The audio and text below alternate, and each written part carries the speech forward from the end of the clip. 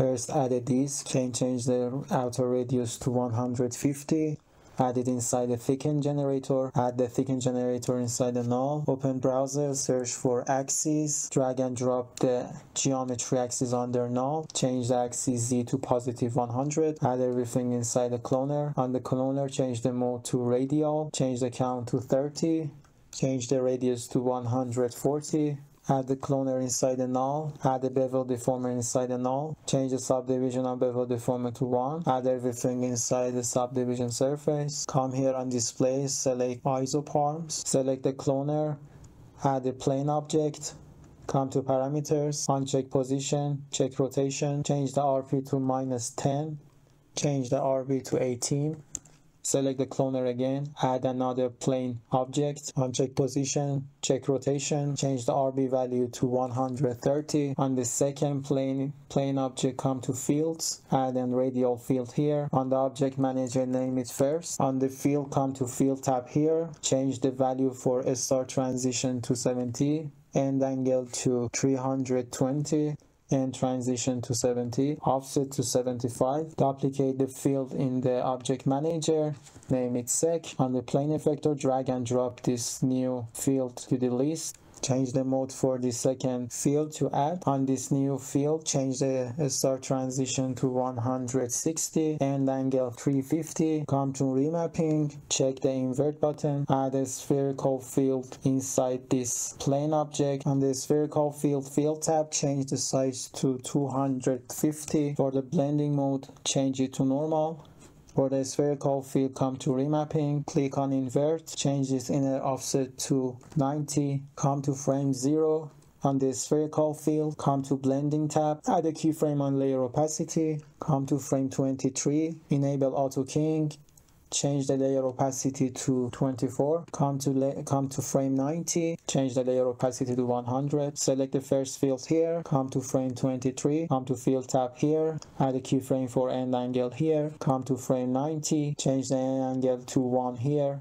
Add a cylinder spline to the scene. Change its radius to 300 change its plane axis to xz on the coordinate for py change it to 80 add a sphere object here. Change its radius to 35 add align to a spline tag on it. Select the circular spline as a spline path. Come to frame 23 add a keyframe for the position of this align to a spline tag. Come to frame 62 change the position value for this spline tag to 100 on the cloner object add the rigid body tag under bullet tags. On the tag come to collision tab.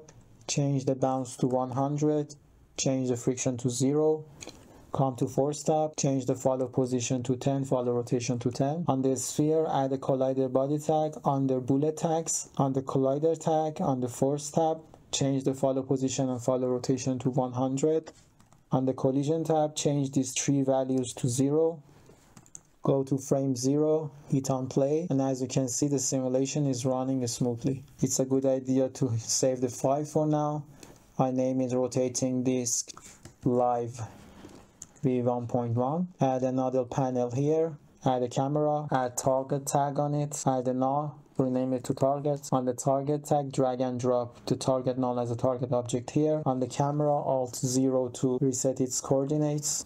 On the new panel change this default camera to rs camera. Change the focal length of camera to 120 push it out until you see the whole thing inside the frame. Add a Dome light here. Come to browser.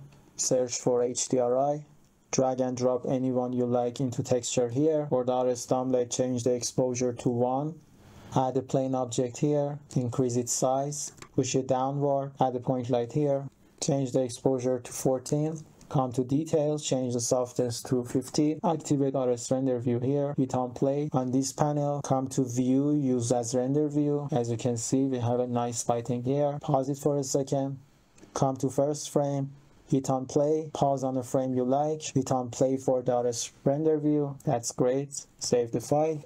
Open Material Manager, add a material for the reflection, change its roughness to 0.1. For the IOR, change it to 3.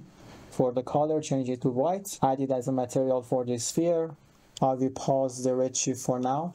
Add another material. Add the color, user data node here. On the presets, select geometry ID color.